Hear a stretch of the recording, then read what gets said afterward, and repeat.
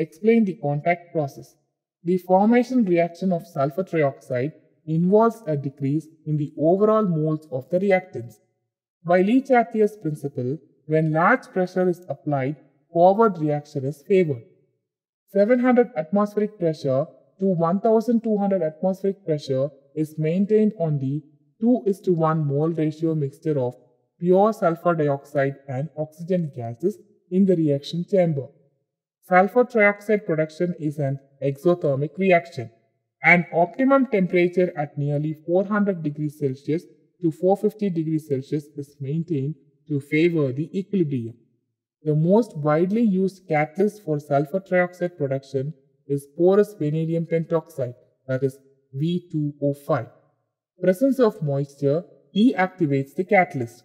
Only dry and pure sulfur dioxide and oxygen gases are used over the catalyst. Since the oxidation of sulfur dioxide is a slow process, the presence of vanadium pentoxide speeds up the equilibrium process and a high yield of sulfur trioxide is achieved in a short period. Sulfur trioxide is the anhydride of sulfuric acid. Therefore, sulfur trioxide from contact process along with the steam is used in oleum and sulfuric acid manufacturing process in contact process. The yield of sulfur trioxide is nearly 97%.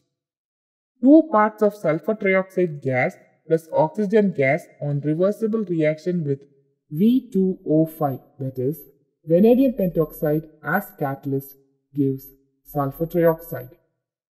Delta H degree F is equal to minus 47 kilocalories per mole.